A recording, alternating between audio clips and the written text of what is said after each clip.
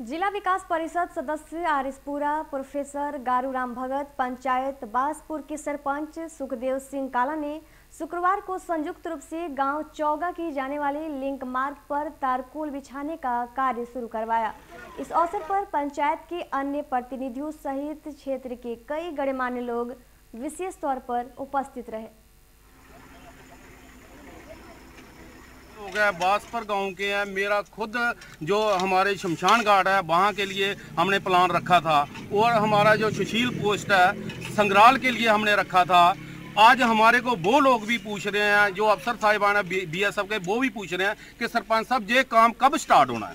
मैं एलजी साहब से ये कहना चाहता हूँ कि हमारे को जहाँ तो ये जो हमारे महकमे के पीडब्ल्यूडी के हैं जो अफसर साहिबान है जेई है ए है डब्ल्यू एक्शन साहब हैं, हमारे को ग्राउंड में आके बताएँ, ताकि हम भी लोगों को बता सकें, भाई आपका मार्च में काम स्टार्ट होना है, या फरवरी में होना स्टार्ट है, कब तक होना है, जो जैसे चोगा गाँव का बता रहे हैं कि चोगा का पूरा टच नहीं होगा।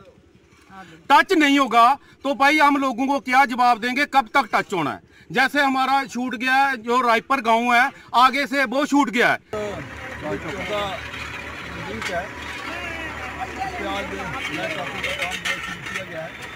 मैं समझता हूँ ये तो बहुत महत्वपूर्ण ये रोड था, जिस पे काफ़ी पुराना इसका काम अभी पेंडिंग था। तो आज ये होने से ये रोड जो है वो हुआ है इस इलाका को ये बॉर्डर एरिया है इसकी रोड कनेक्टिविटी वो मज़बूत होगी और लोगों को आने जाने में पूरी सुविधा मिलेगी।